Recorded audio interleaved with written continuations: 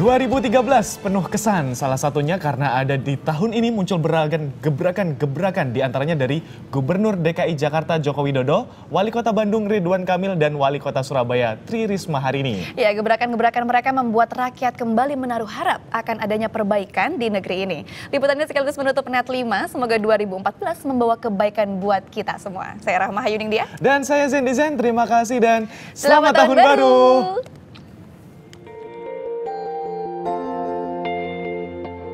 Sebagai ibu kota negara mestinya kita uh, bisa dijadikan contoh daerah-daerah yang lain. Tetapi ya kita ngomong apa adanya. Persoalan, masalah masih bergunung-gunung, masih bertumpuk-tumpuk. Masalahnya banyak sekali yang harus diselesaikan mulai dari kualitas hidup masyarakat yang belum tersentuh oleh pembangunan masih banyak. Macetnya, banjirnya meskipun sudah dikerjakan Ya biasa namanya pro dan kontra. Yang paling penting cara pendekatan, cara penyelesaian masalah itu apa dengan pendekatan-pendekatan lunak. Meskipun pada titik akhir kalau memang sulit kita juga bisa tegas, bisa tegas. Ya biasa ada benturan dikit-dikit, gesekan dikit-dikit, nggak apa-apa. Itu kan menjadi warna-warni yang ya memang harus kita jalani. Kerikil kecil-kecil biasa. Jadi saya menganggap ya biasa saja. Saya nggak pernah merasa sulit apalagi capek. Enggak biasa-biasa. Jadi ya ya kita jalani kita jalani. Kerja pagi sampai tengah malam sampai pagi pun ya kita jalani. Memang ini ini adalah tugas yang dibebankan masyarakat kepada kita nanti akhir 2014 kita harapkan dan perubahan-perubahan itu mulai dirasakan, mulai nampak, mulai ada perubahan dan ya perubahan itu menjadikan kita lebih baik, menjadikan kita lebih baik. Semua punya peranan, semua punya pengaruh lah saya kira. Kalau apa? Ya kalau musik itu apa? Memberikan semangat. Ya, ya. Sering juga memberikan inspirasi, ya. tapi yang paling penting semangat lah. Kalau musiknya menggebrak, ya semangatnya beda dengan yang musiknya me mellow itu. Keluarga ya selalu mendorong dan ya mengerti ya bahwa tugas saya sekarang ini memang harus memerlukan konsentrasi, memerlukan waktu sehingga banyak hal yang berkaitan dengan keluarga itu menjadi nomor dua, nomor tiga, nomor empat karena memang tugas ini bukan tugas yang enteng, tugas yang berat.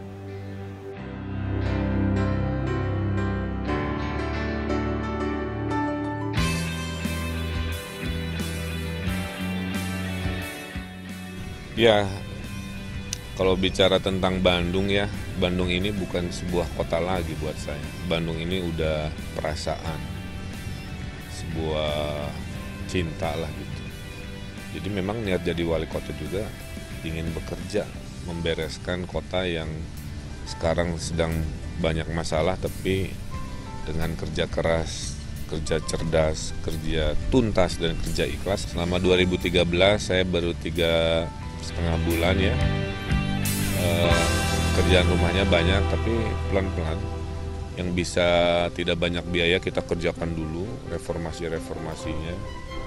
Uh, tapi insya Allah dalam waktu tidak terlalu lama harusnya perubahan-perubahan itu bisa. Kebetulan juga buat saya pribadi 2013 itu tahun yang bersejarah. Saya tadinya nggak niat maju juga tiba-tiba karena situasi akhirnya maju. Dari sisi infrastruktur kota Bandung ini mengalami masalah yang tipikal dengan masalah kota-kota lainnya. Masalah banjir, macet, sampah, dan kualitas jalan. Setiap kebijakan publik selalu mengundang konsekuensi. Jadi artinya kombinasi pro dan kontra ini kita apa, lihat saja sebagai sebuah masukan. Kadang-kadang sebagai pemimpin ya kita harus ambil keputusan tidak populis gitu tapi yang menurut nalar kita benar, menurut hati dan etika kita benar. Setelah itu ya kita tanggung jawab saja. Negeri ini sedang punya problem peradaban. Saya tidak boleh menyerah. Ya, Kalau saya menyerah berarti saya mewariskan masa depan yang rusak, yang sakit kepada anak-anak saya, cucu-cucu saya. Saya sih optimis Bandung bisa baik lagi eh, karena mesin birokrasi juga gimana pemimpinnya. Warga juga bergerak tidak bergerak gimana ajakan pemimpinnya. Jadi saya ingin jadi pemimpin yang mengajak.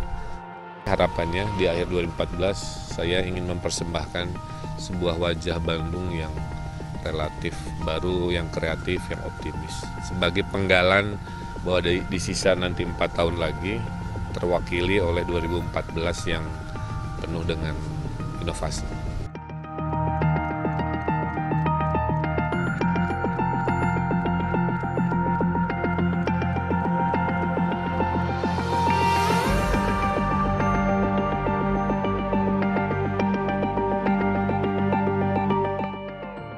Ya, Surabaya uh, sudah mulai ya mendekati mimpi saya uh, sebagai rumah oleh warganya. Cuman memang masih ada beberapa PR yang harus saya selesaikan gitu. Tapi saya yakin saya dibantu warga Surabaya, kita mampu menyelesaikan PR-PR itu. Ya, saya ngerasa memang ini sudah mulai jadi rumahnya gitu. Rumah warga Surabaya meskipun untuk itu saya kerjanya keras sekali karena saya harus menjaga kebersihan, kemudian saya harus menjaga keindahan, saya harus menjaga keamanan gitu. Jadi sedikit aja saya gelap gitu, saya suruh nambah lampu, lampu. Sedikit kotor saya harus bersihkan karena tidak bisa kemudian apa namanya uh, kalau rumah kan untuk nyaman ditinggali kan harus nyaman. Ya, yang belum selesai adalah sedikit permasalahan di uh, banjir di tempat-tempat tertentu yang kemudian yang kedua saya harus menyiapkan uh, apa namanya uh, warga Surabaya menjadi uh, bisa bersaing uh, nanti karena 2015 itu sudah apa? Oh warga Surabaya itu warga yang luar biasa. Sekali dia diperhatikan, disentuh, maka dia akan bisa kita gerakkan. Bahkan luar biasanya, saya kira susah nyontoh warga Surabaya kegotong royongannya dan kekompakannya. Susah ditiru, betul. Ya, uh, saya ingin warga Surabaya bisa kompetisi ya, uh, kompetisi dengan warga-warga lain karena kan sudah AFTA uh, di Asia di ASEAN ini.